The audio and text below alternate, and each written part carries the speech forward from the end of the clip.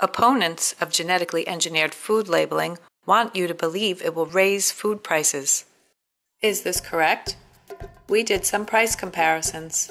Kellogg's Corn Flakes in California, 4.49.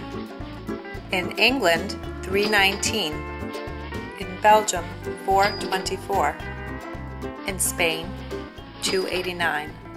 In Europe, when GMO labeling laws went into effect in 1997, it did not result in increased costs despite the horrifying double digit prediction of some interests. In Germany, 387, and in Australia, 407. We, as most manufacturers, are continually updating our packaging. It is a regular cost of doing business, a small one at that, and is already built into the price consumers pay for products.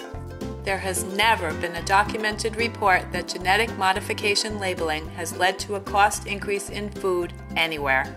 So you see, in many countries where GMOs are required to be labeled, the same products are actually cheaper. Telling Americans that labeling will increase food prices is an outright lie.